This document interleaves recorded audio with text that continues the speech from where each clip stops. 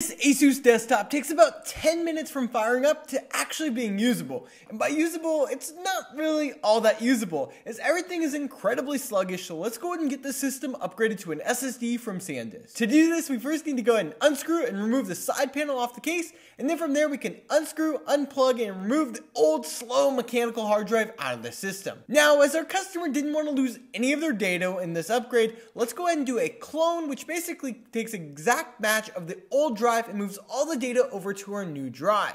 So to clone it, we're going to use our StarTech drive cloner by setting our old drive as our source and the new SSD as our destination. And while we wait for the cloning process to complete, let's go ahead and clean up our customer's PC because it's absolutely filthy inside using our DataVac.